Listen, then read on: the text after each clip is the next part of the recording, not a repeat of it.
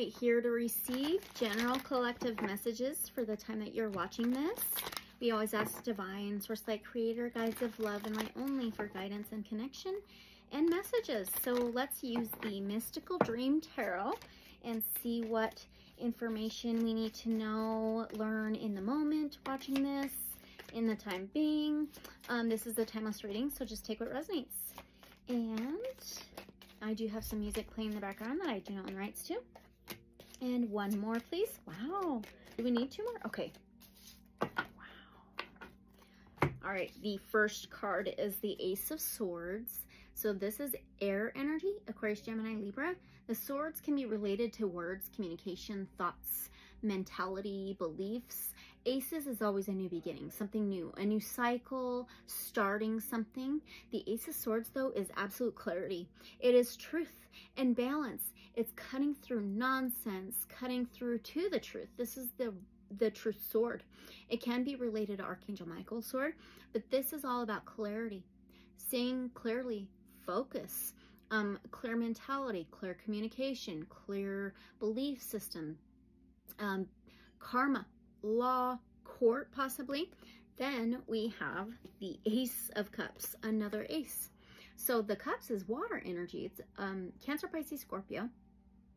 And this is like a new feeling, a new emotion. It could be love.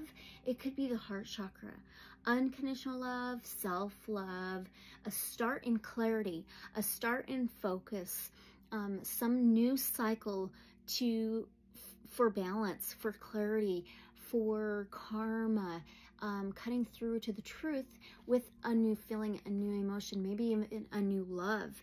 Um, it could be heart healing, right? Alignment of the heart chakra.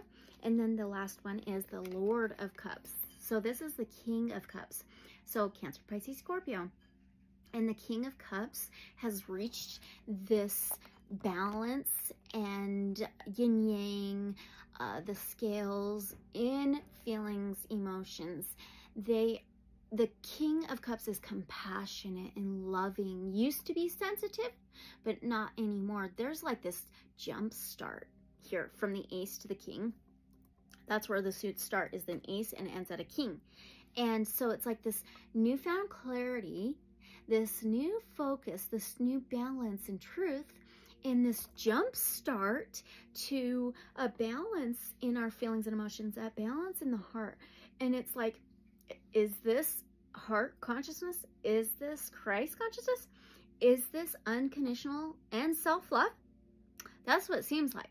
This King of Cups balances two worlds very well and very compassionate, having compassion, sympathy, and empathy. So very loving and very flowy, very kind, and very knowledgeable too.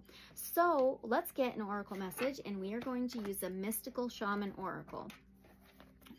Beautiful. And for some, it could be a possible new love, okay? And it just could be new love for yourself as well. Because an ace can be related to childlike energy, but the two aces, that's a number 11. That's also balance. And the 11th house in astrology is ruled by Aquarius, which is an air sign. And the 11th house is hopes, wishes, friends, community, humanitarianism. We are in the Aquarian age now. And that's my belief anyway.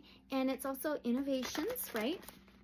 So the Lord of Cups, the King of Cups, total compassion, total sympathy, total empathy, total unconditional love, self-love. It does kind of remind me of Christ energy. It really does. All right, let's see what the confirmation is from the Mystical Shaman Oracle. Yeah, we have a card number eight. So eight could be significant to some of you, but the eight, eight is also the infinity symbol. So that is eternally connected to all that is. One is all, all is one right? And it's also the balance between two energies like the yin yang, the ace of cups, the ace of swords. Bringing balance balances two worlds very well, which can be the spiritual and the physical. And then it says the circle. So the circle, this reminds me of the collective and world, you know, and community. So the eight, eighth house in astrology is ruled by Scorpio, water sign, and it represents this total death rebirth, this ending a new beginning, this cycle, transformation, change. It's like the, the death and rising from the ashes, right? Wow. Okay, let's read on the circle.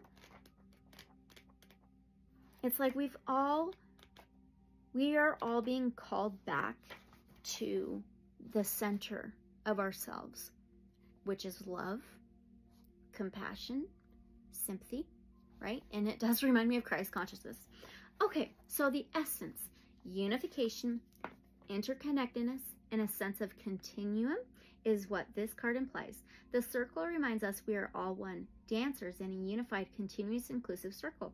This card reminds us of the cycles of life and the evolving self, ever-changing and always connected. Human, spirit, nature, the cosmos, all intrinsically connected. When the circle appears, it reminds you that you are connected to everything and everyone, including spirit.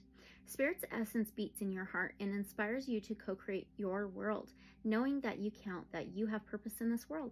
Imagine even a smile to a stranger can change the course of a life. When the circle invites you to dance in the sacred steps of life, know that your work, your love, your service brings greater value than you can know. Stay the course, keep dancing, and all will be well. And this is the truth. The Ace of Swords, right? Is we are all one and interconnected. When the circle comes as your medicine, you're meant to come to an understanding of the importance of decay and letting go, the importance of dying to an old form and being reborn anew. If you are faced with this, the challenge of loss or disappointment, remember this. In the circle of life, nothing is ever wasted. Love will seek itself again. Prosperity will come from a new idea or opportunity.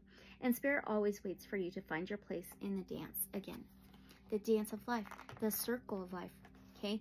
This is beautiful because this ace to the king, this is like reached a full completion. And it's this interconnectedness. And water, this cups, does remind me of the collective, of us all, right? And being a part, being one, being interconnected, being part of the whole, all that is creator, source, okay? And this is the truth, right? Beautiful. So that was the collective message for the day. And just take what resonates, leave whatever may not resonate. Use your discernment. And if you're interested in more in a personal private reading, you can always reach out to me. And always unconditional love and light, so be it. And I'll see you guys in the next reading or video. Bye.